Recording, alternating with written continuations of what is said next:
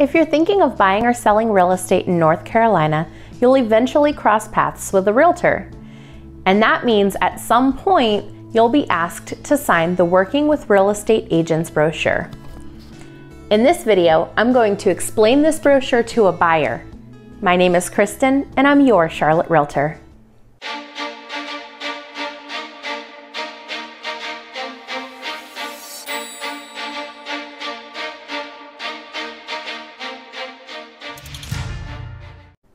When you're buying real estate, you may find it helpful to work with a real estate agent. Real estate agents can provide many useful services and help you in many ways in a real estate transaction. In some cases, the agents will work for the seller. In other cases, the buyer and seller will both have their own real estate agents. And, in, and then in other cases, the same agents will work for both the buyer and seller simultaneously. It's extremely important to know whether an agent is working with you as your agent or if they're just assisting you while acting as the agent of the other party. This brochure addresses the various types of agency relationships that may be available to you. It also will help you decide what type of relationship you want to have with your agent. After that, you'll also see in the brochure um, what responsibilities a real estate agent has and how real estate agents get paid.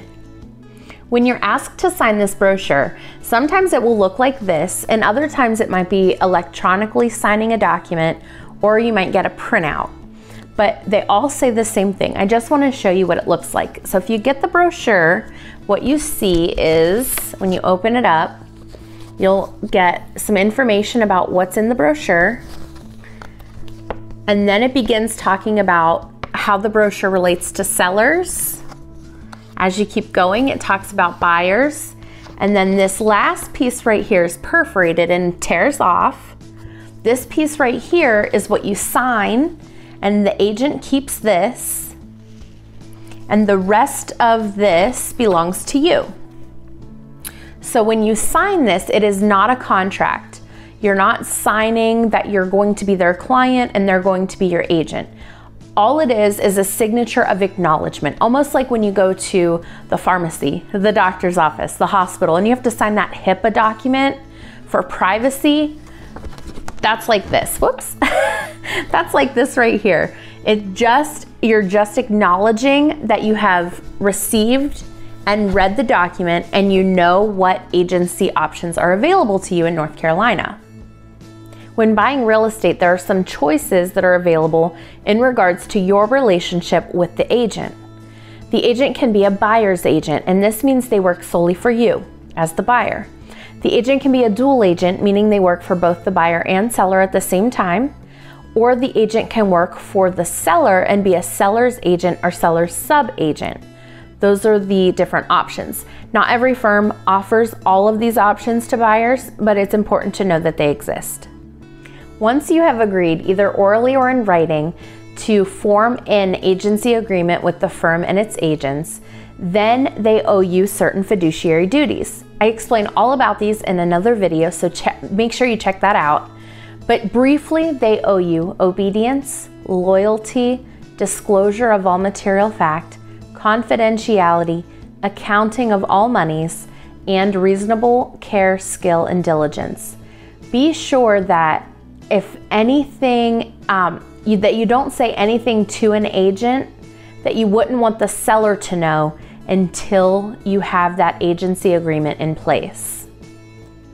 To make sure that you and the real estate firm have a clear understanding of your relationship, it may be best to have a written agreement in place.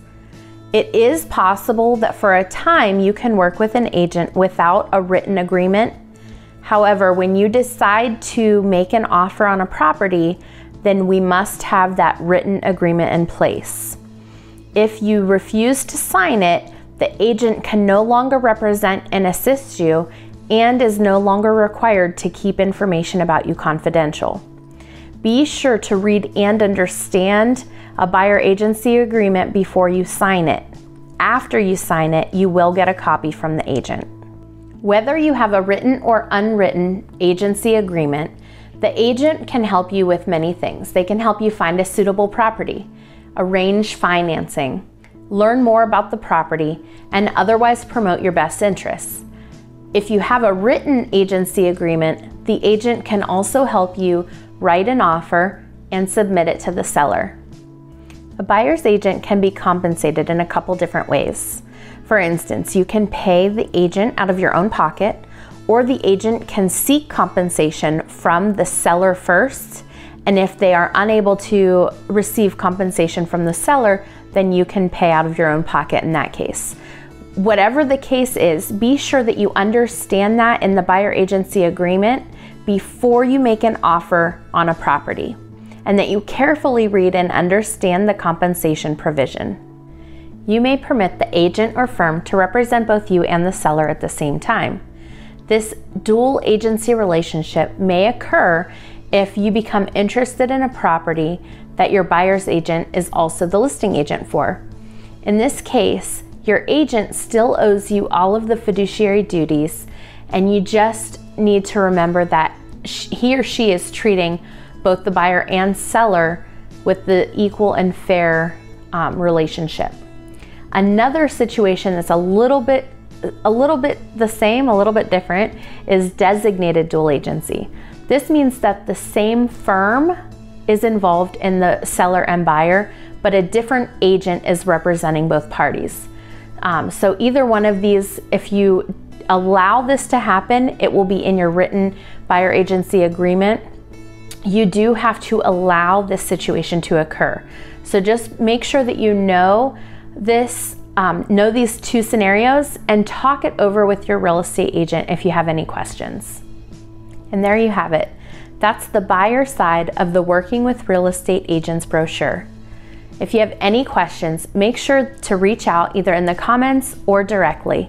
I hope I taught you something today.